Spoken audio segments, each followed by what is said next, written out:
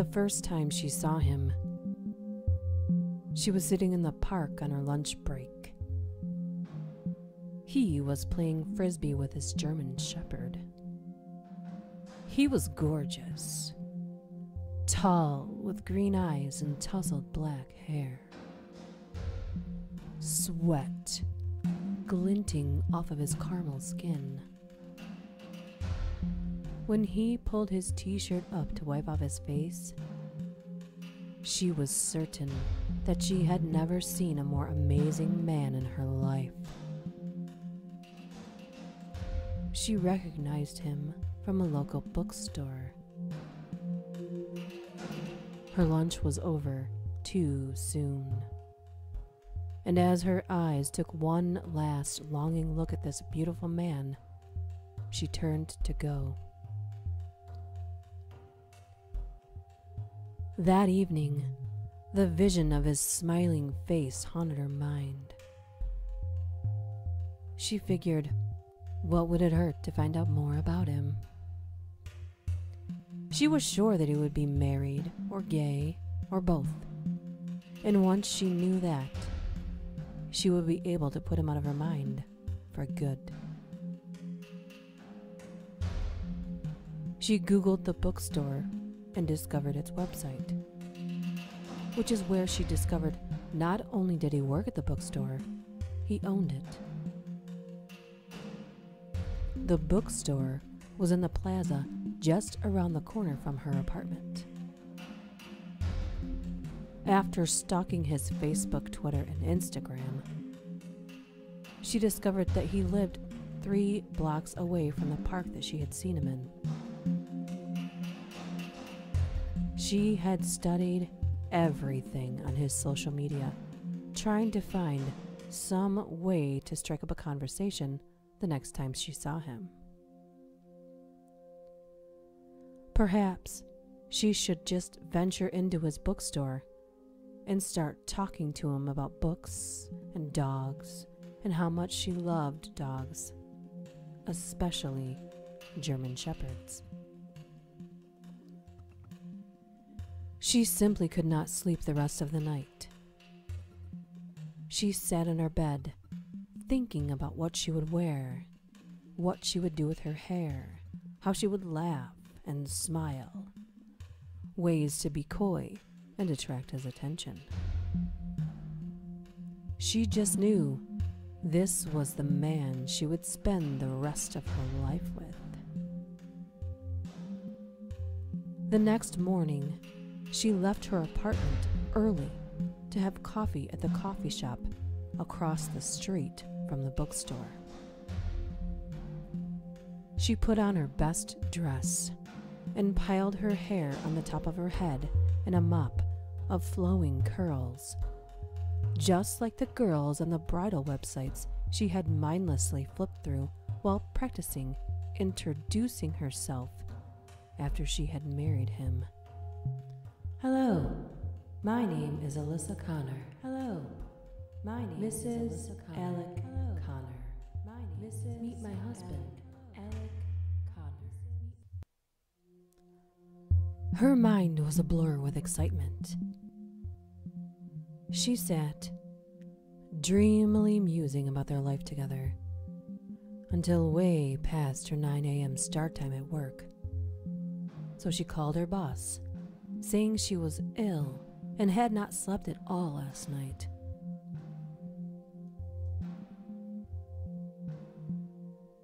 Mr. Beautiful Bookstore owner ventured in at about 10 a.m., and it was time to go meet the man of her dreams. She paid for her coffee and left. She walked up to the door of the bookstore but could not go in. Instead, she found a bench out of the line of sight of most of the street. She reached into her bag, pulled out a pen and paper, and wrote a sweet little note, telling him that she would love to meet him. She just sat watching him as he smiled and laughed with his customers. Clearly, most of them had known him for a while. He would be leaving at 6 p.m., and she made her way over to his car and left a note on the windshield wiper. Then she found a secluded place to watch him read the note. He walked to the car, stopped and picked up the note, read it, and looked around, puzzled, then confused.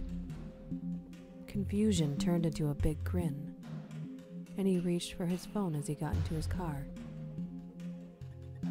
As he drove off, he was talking and laughing on the phone. Was he talking to another woman? Mrs. Alec She walked home and started thinking of a way to talk to him.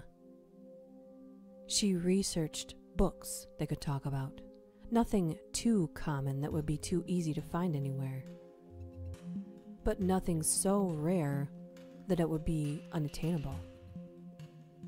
She found the perfect book she changed the picture on her Facebook to that of a German shepherd playing in the grass.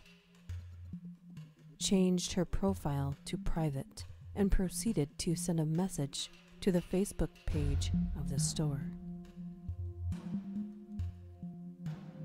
He replied quickly that he would work on finding that particular book that she had requested.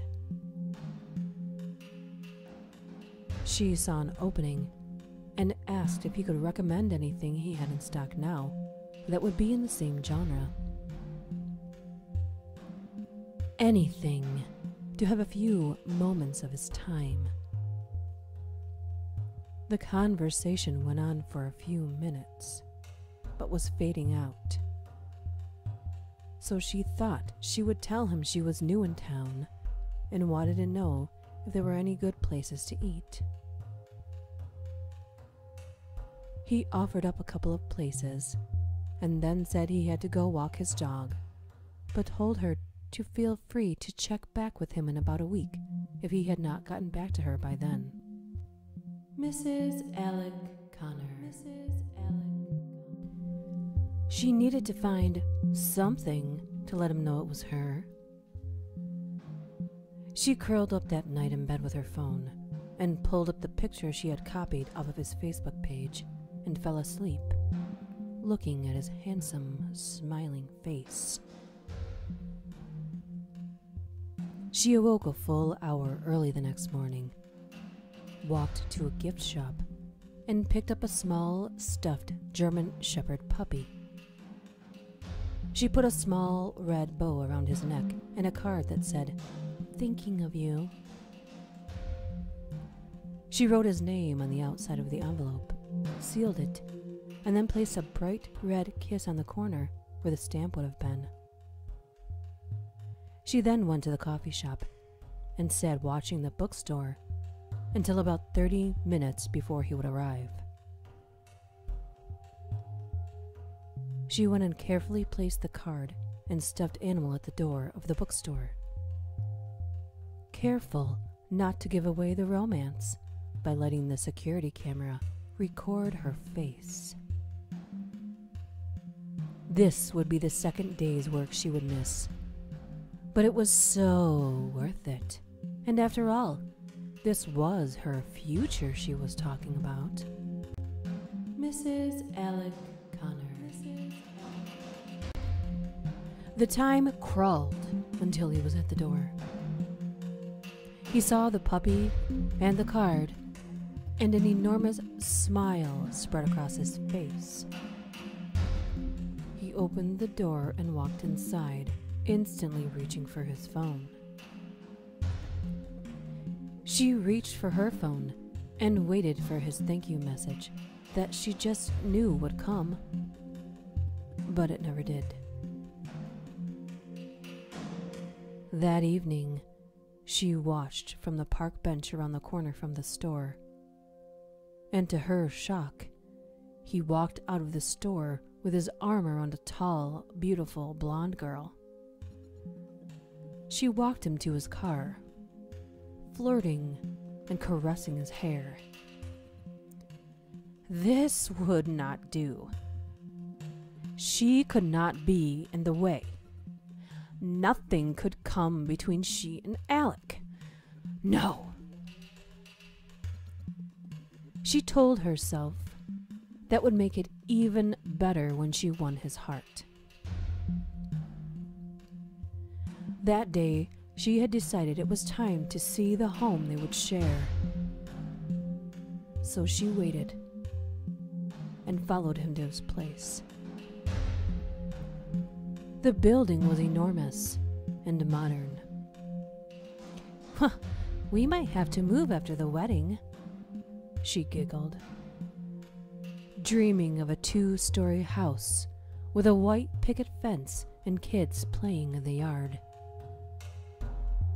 Maybe it would be okay though. She needed to see the apartment to know. Maybe she could make it feel like home, as long as she shared it with him. Mrs. Alec Conner. Mrs. Alec. Tomorrow she would go to work and leave at lunch and call in saying she had car problems. Then she would go check out their place to see what she would need to do to make it feel like home. Hello, my name is Alyssa Conner. Hello, my name Mrs. is Mrs. Alec Hello. Conner. My name Mrs. Meet my husband, Alec. She did just that. She contacted the manager of the building, saying she would like to see an empty unit in the building. She met him, looked at an empty apartment, and then asked if she might explore the building on her own to see if it felt like home. He happily agreed and gave her a map of the building and told her if she had any questions to feel free to call him. Mrs. Alec Conner. Mrs. Alec. This gave her a great idea. She found a phone in the lobby of the complex and called, saying that she heard a lot of screaming and pleading for help coming from Alec's apartment. She then snuck up the back stairs and watched as the manager opened the door and went in to check on the situation. She quickly managed to get in the door and hide in the coat closet. After he had left, she walked around, looking at the decor. It wasn't bad, but it needed a woman's loving touch to make it feel like home. She then made her way to his bedroom and laid down on his bed, burying her face in his pillows, breathing in his scent. She slipped on his robe over her clothes and strolled around, taking in everything that made him who he was. She softly caressed his clothes in his closet, sifted through pictures and magazines. She even took note of what kind of food he kept on hand. She lost track of time, and it would not be long before he would be home. As she was about to leave, an idea popped into her head, and she looked around and finally found what she was looking for a spare apartment key. She was sure he would want her to have it, after all. It would soon be her home, too. Hello, my name is Alyssa Conner. Hello, my name Mrs. is Mrs. Alec Conner. My name Mrs. Meet my husband, Alec the next day, she spent the whole day at work feeling guilty that she had missed this much time with him. She just knew that after they were married, he would want her to quit her job so she could concentrate on being his wife and keeping him happy. She got off at five and ran most of the way to the bookstore, slowing down just enough to catch her breath. She managed to slip quietly into the store and busied herself with a book near the back. He walked up to her and asked if there was anything he could help her find and that the store would be closing soon. She replied that she was just killing time. And as she walked to the doors, he glanced up and flashed his dazzling smile. Distracted, she pushed the door open so hard she almost knocked the blonde to the ground. She apologized and shuffled off to watch him leave again. Mrs. Alec Conner. Mrs. Alec. They walked out hand in hand. She wrapped her arms round him and kissed him on the lips. They laughed together and cuddled, leaning against the hood of his car. She sheathed with anger. That bitch had to go.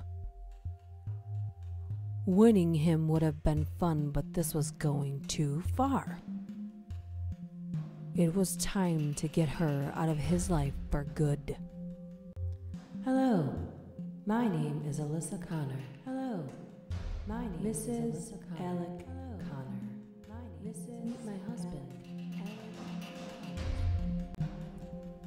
That evening, she went back online and messaged him asking if he had had any luck with the book request. He replied that he had found a couple of options, but wanted her to come into the store and choose which one she wanted, and he would order it for her. She joyously agreed to meet him at 10 in the morning. She could not sleep at all that night. This was his way of getting time alone with her. She did not have anything that would be good enough for this meeting. So she grabbed her credit card and headed to the mall to find the perfect, sexy, yet tasteful outfit and take care of some loose ends. She spent three hours on her hair and makeup. She had to look perfect. Then she put on the clothes she had chosen at the mall. She had maxed out her credit card, but it was so worth it. This would be the first day of their new lives together. He would always remember her just like this. Mrs. Alec Conner. Mrs. Alec. She sat in the coffee shop and watched as he entered the store. She would make him wait a little while to build the anticipation. Finally, she could not wait a moment longer. And as she walked into the store, she fully expected him to embrace her. She was astonished when he only smiled and nodded. How could she have forgotten he had never really seen her before? She flashed him a smile and said she was there about the book. He had a sudden flash of realization. Mrs. Alec Conner. Mrs. Alec. Oh, so nice to finally meet you, Alyssa. If you will just follow me, I will show you what I found for you. He said with a wide smile on his face. She noticed how much brighter his eyes were up close. She could smell the scent of his apartment all over him. Her hands trembled, standing so close to him. He pulled up a page in the computer, talking about the options he had found. She did not hear half of what he had said. She was too busy drawing his face into her mind. He was standing so close. She could feel the raw animal attraction between them and leaned closer. Close enough to kiss him if he just turned his head. Her heart was pounding so hard she could not hear anything but her own heartbeat. Just then his telephone rang. He excused himself and stepped away, his face turned suddenly grave, tears brimming in his eyes. She could not hear what was being said, but deep down, she knew something horrible must have happened, judging from the look on his face. He sat down the phone and leaned on the counter with his head in his hands. Mrs. Alec Conner. Mrs. Alec. She walked up and softly placed a hand on his shoulder. He seemed to have forgotten she was even there. He jumped back and then came to himself. Is it a bad time? I can come back. She softly asked him. Now he was the one trembling at her touch. She could feel it. I'm sorry. I have to close the store today. A dear friend of mine was killed last night. I'm so sorry, but can we do this another day? said her future husband. Certainly. Do you need a ride somewhere? You seem too upset to drive right now. I would hate to lose my new book connection this soon. She said this, trying to make him smile. It kind of worked. He gave her a half hearted smile. Mrs. Alec Conner. Mrs. Alec. No, I'll be okay, but thanks. And with that, he gently guided her to the door. As she reached her rental car, a smile crept across her face. Nothing stood between them now. She knew just what she would do now. As soon as she got her car back from the body shop, she would invite him to dinner to thank him for finding the book. The next day, the store was closed with a wreath on the door. She then decided she should quit her job to concentrate on making sure he was well taken care of. Mrs. Alec Conner. She drove to his apartment building. She sat and watched his window for hours, then days. The evening of the third day, she sent him another message, asking if he was okay, and asking when she could meet up with him to look at the books. He replied that he would be back at the store tomorrow. Tomorrow! She would see him tomorrow! She smiled to herself. Mrs. Alec Conner. Mrs. Alec. The next day, she borrowed some clothes from a former coworker and got ready to go see her Alec. She arrived just on time. This time, she did not have anything to wait for. She walked in with a huge smile on her face that faded the instant she saw him. He looked defeated, run down, and at least 10 years older than he had only a few days ago. She thought to herself, he needs you now more than ever. Mrs. Alec Conner. Mrs. Alec. She talked to him a bit about the books and the upcoming holidays. Talking about the holidays made his face twist in pain. She chose the better of the two books and paid. She was thrilled. Not really about the book, but with the thought of seeing him again to pick it up. She watched him at the store and followed him home every day. She felt he was slowly getting back to himself. Then the call came that she had been waiting on. The book was in. One more trip to the mall. Another amazing dress. Hair, makeup, and then the bookstore. Mrs. Alec Conner. Mrs. Alec. She walked in the store, sweeping in like a starlet from a 1950s movie.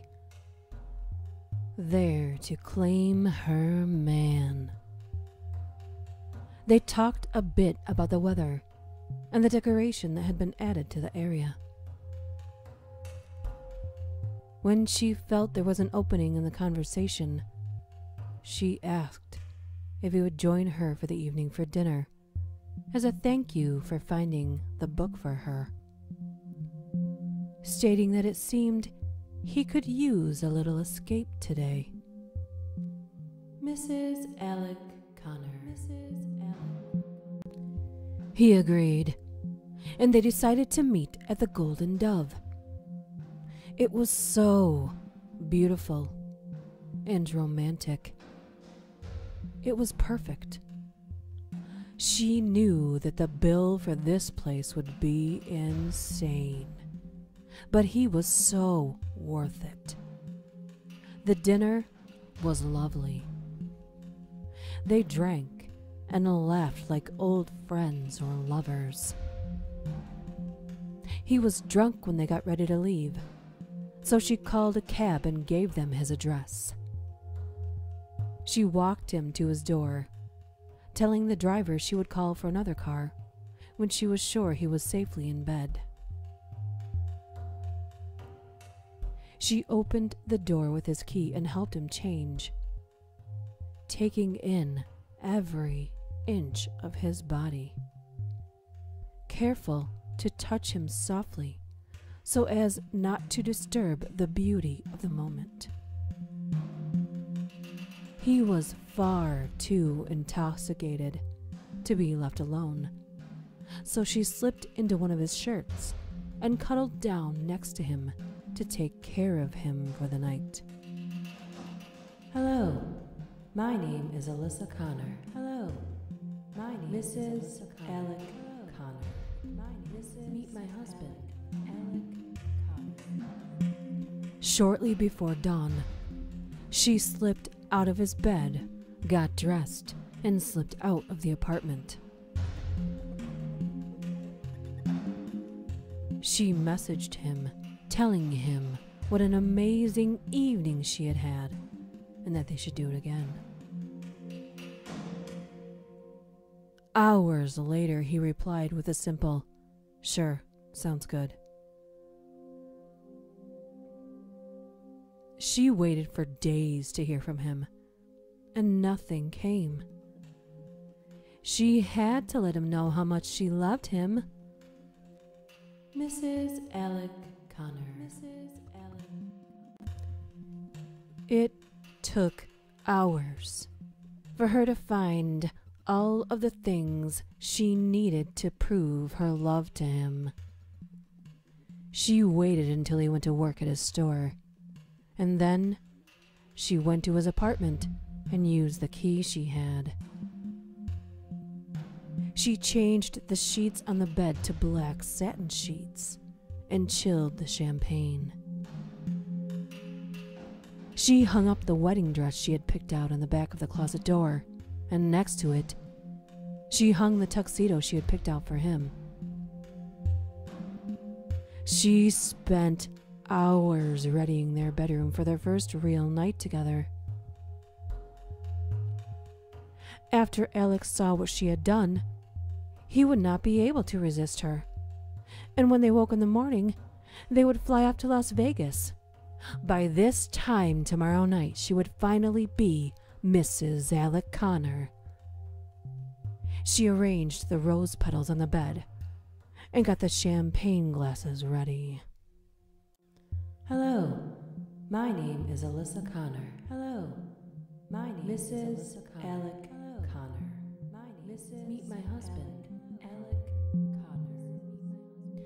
She changed into something special that she had chosen just for this evening and sat behind the bedroom door, ready to surprise him. She could feel her heart pounding in her chest. She heard the key turn on the front door. Her Alec was coming home to her. She knew what he had done after work, just like every other day when he left the store. Gone to the kennel, gotten his beloved dog King, taken him to the park for an hour of play.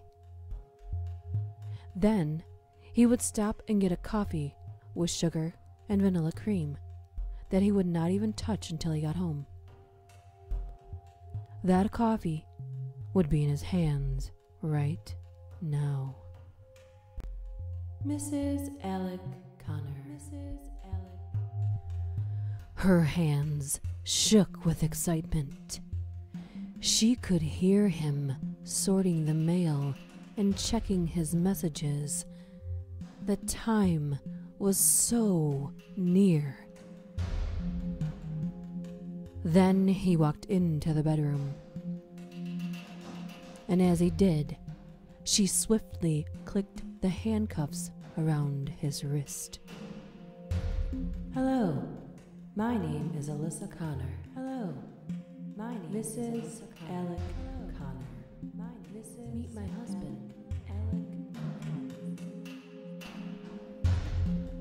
After it was noticed by some regular customers that the bookstore had not been open for days, the police were called. They went to his apartment, and there they found that Alec had been tied to the bed and beaten to death. The only clues found were a wedding dress hanging on the door, half empty bottle of champagne, and a note on the mirror saying, I loved you so much. The investigation led to a girl that was seen on security cameras, but no one seemed to know who she was.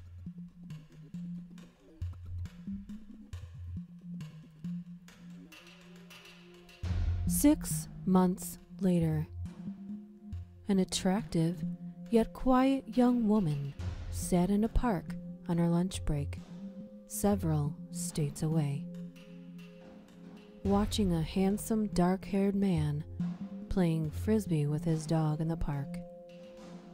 And she was certain that she had never seen a more amazing man in her life. Mrs. Bradley Johnson. Mrs. Bradley